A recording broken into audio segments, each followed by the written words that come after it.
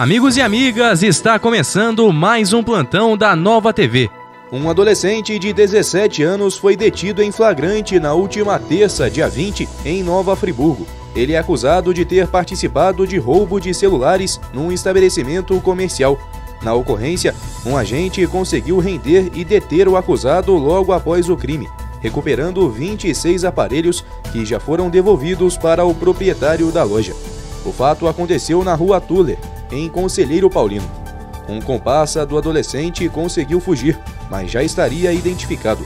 Ele e o adolescente apreendido simularam estar armados para render a vítima e praticar o crime.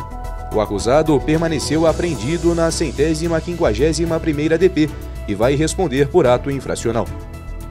Termina aqui mais um plantão da Nova TV. Entre em contato através do WhatsApp 999090701 e também do telefone da Nova TV 2522 9058. Para mais informações, acesse o nosso site novatvfriburgo.com.br.